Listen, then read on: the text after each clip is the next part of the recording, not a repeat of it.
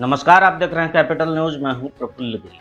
Medininagar central jail में बंद एक कैदी की इलाज के दौरान मौत हो गई। कैदी की पहचान कुंदन पांडे के रूप में हुई है, जो 6 सितंबर को अपहरण के एक मामले में जेल भेजा गया था। कुंदन पांडे मेदिनीनगर बारह लोटा निवासी नवल किशोर पांडे का था। जानकारी के अनुसार सोमवार की सुबह करीब चार बजे कुंदन की तबीयत बिगड़ने पर उसे एमएमसीएच अस्पताल लाया गया। अस्पताल में उसका इलाज शुरू किया गया, लेकिन सुबह साढ़े छः बजे डॉक्टरों ने उसे मृत घोषित कर दिया।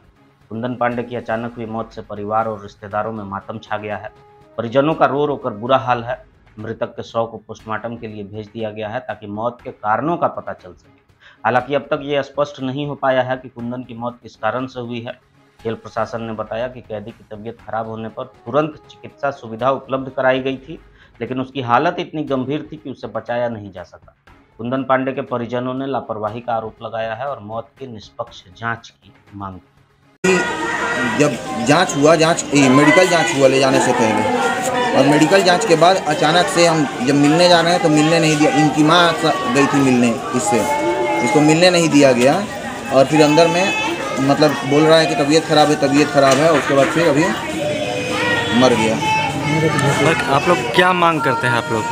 मांग करते हैं कि भाई हमारा भी कंप्लेन लिया जाए इस पे इसमें जो जो दोषी है इनके मौत में उसका उस पर उचित कार्रवाई की जाए।